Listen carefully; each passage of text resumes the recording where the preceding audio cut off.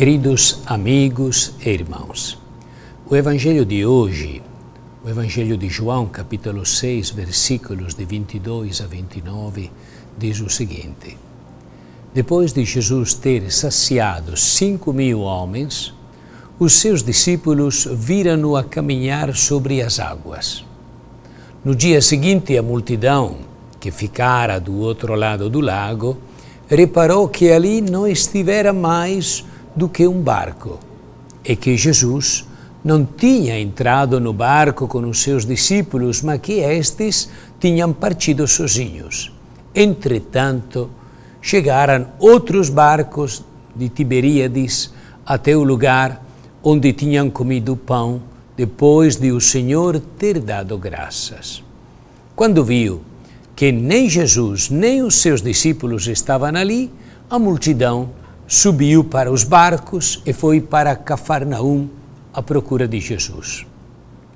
Ao encontrá-lo no outro lado do lago, perguntaram-lhe: Rabi, quando chegastes aqui?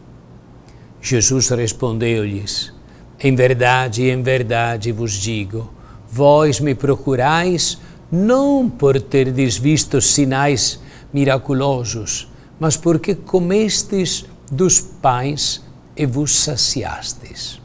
Trabalhai não pelo alimento que perece, mas pelo alimento que perdura e dá a vida eterna, e que o Filho do Homem vos dará. Pois a este é que Deus, o Pai, confirma com seu selo. Disseram-lhe então: Que havemos nós de fazer para realizar as obras de Deus? E Jesus respondeu-lhes: A obra de Deus é esta: crer naquele que ele enviou. Temos a impressão de que os acontecimentos narrados por João apenas servem para dar realce aos ensinamentos de Jesus. Isso é, em parte, verdade. De fato, João, através de certos detalhes, leva o leitor a tomar a sério a narrativa, que não é inventada, mas que corresponde à realidade. No nosso texto encontramos uma dessas notas.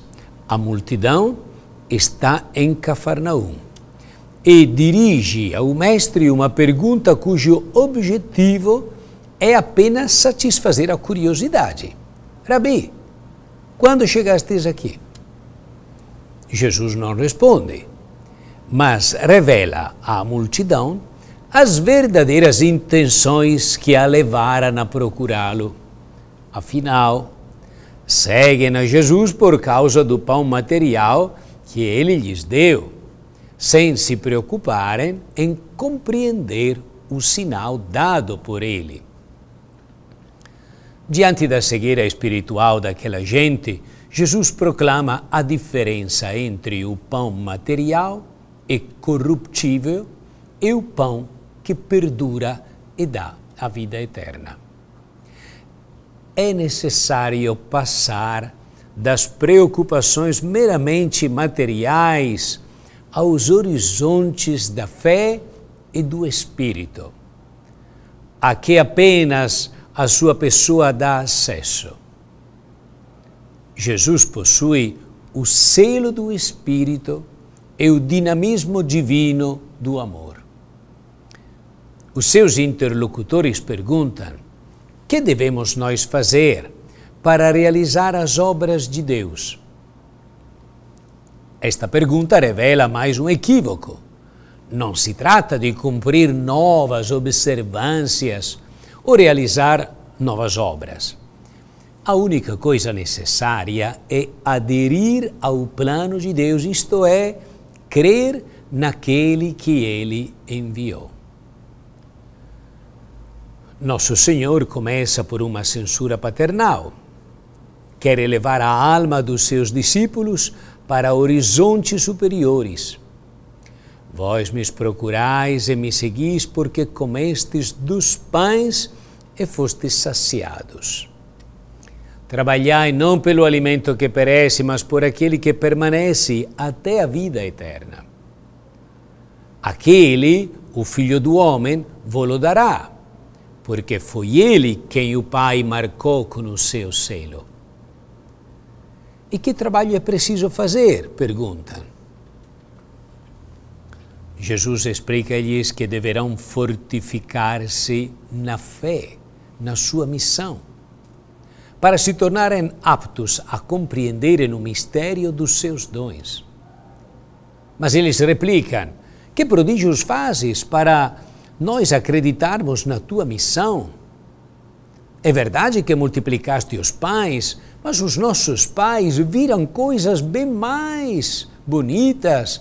Receberam o maná do céu durante 40 anos. Aí Jesus disse: na verdade, Moisés não vos deu o verdadeiro pão do céu. É o meu Pai quem vos apresenta, porque o pão de Deus é aquele que desce do céu e que dá a vida ao mundo. Eles não compreenderam nada. No entanto, foram tocados pela graça divina e responderam: Senhor, dai-nos sempre deste pão. Senhor, eu também vos digo: dai-me sempre deste pão. Estou ávido deste pão. Quero dele alimentar-me constantemente. Todos nós precisamos deste pão. João, ao recordar a multiplicação dos pães, refere um pormenor significativo: o fato do Senhor ter dado graças. O sinal da multiplicação dos pães está ligado à oração de bênção e de ação de graças feita por Jesus. Na última ceia, terá a mesma atitude. Nós precisamos aprender com o Senhor a dar graças pelo que já temos, quando nos esforçamos por multiplicar o pão. Um modo muito concreto é partilhar, em nome de Deus, o que temos com os mais carentes.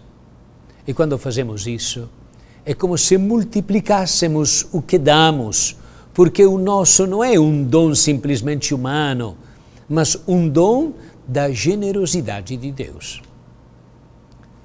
Também não podemos deixar de dar atenção ao equívoco dos seus interlocutores, que Jesus acaba por desfazer que devemos fazer para realizar as obras de Deus. Eles pensavam que para alcançar a salvação tinham de cumprir novas observâncias, realizar novas coisas. Mas Jesus afirma claramente que a única coisa necessária é aderir ao plano de Deus, isto é, crer naquele que ele enviou. E a primeira leitura de hoje, tirada dos Atos dos Apóstolos, nos diz que Estevão, cheio de graça e de força, fazia extraordinários milagres e prodígios entre o povo. Seu entusiasmo é exemplar, mas nem todos gostam. Por isso, experimenta a rejeição e tem o mesmo destino de Jesus, é recusado.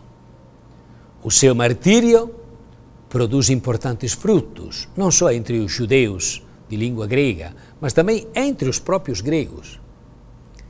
Estevão, podemos dizer, é um provocador. Mas a sua provocação vem de uma sabedoria superior. É fruto de uma particular compreensão do plano de Deus que previa o anúncio do Evangelho, não só em Jerusalém, mas até os confins da terra. E o Espírito serve-se do seu caráter entusiasta e aguerrido. Perde porque atua numa sociedade intolerante. Mas o Evangelho acaba por ganhar e percorrer o mundo. Rezemos. Obrigado, Senhor, pelos testemunhos corajosos e imprudentes que tu continuas a enviar à tua igreja. Obrigado pelos profetas incômodos. Uns e outros sacodem adversários e amigos, dentro e fora dos nossos ambientes, provocam a difusão do Evangelho em meios onde não pareceria possível penetrar. Dai-nos coragem para enfrentarmos decididamente incompreensões e mal, por causa do Teu nome. Dai-nos força para nos lançarmos a caminhos não andados, porque o teu Evangelho deve chegar aos confins da terra, em todo lugar. Amém. Deus abençoe este dia, em nome do Pai, e do Filho, e do Espírito Santo. Amém.